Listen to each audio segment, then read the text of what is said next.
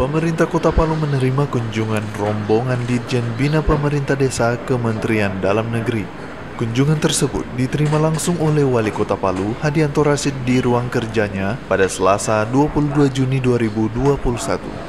Pertemuan ini menindaklanjuti audiensi Wali Kota Hadi dengan Menteri Dalam Negeri RI Tito Karnavian pada tanggal 16 April 2021 yang lalu di mana Hadi ingin mengusulkan beberapa wilayah di kelurahan menjadi desa, yakni wilayah Selena dan Uen Tumbu. Kedatangan rombongan ke Mendagri ini juga dalam rangka verifikasi faktual di lapangan yang berlangsung dua hari, tanggal 22 dan 23 Juni 2021. Usai pertemuan di ruang kerja wali kota, dilanjutkan dengan kunjungan lapangan ke wilayah Selena dan Uen Tumbu.